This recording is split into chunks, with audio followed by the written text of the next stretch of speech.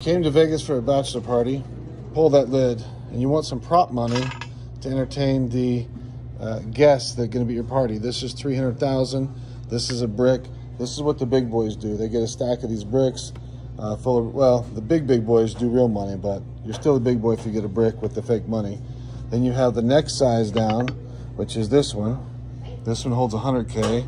That's a hundred thousand dollar brick. This is meant for real money, but it's Vegas, and you're probably going to lose it at a strip club anyway. So, and then of course you could do what some people do, which is just get some fake money, and uh, you know entertain the strippers with that. So you got three, four ways you could do it. You could do it the so-so way, the big boy way, the huge boy way, and the big, big, big boy way, which is real money in this. Let me show you the difference. This is the Amazon prop money. This says copy right there with all the same numbers. And then our stuff, it does say replica, which it has to. If it looks any better, it would be illegal. So you tell me which one looks more real, this one or this.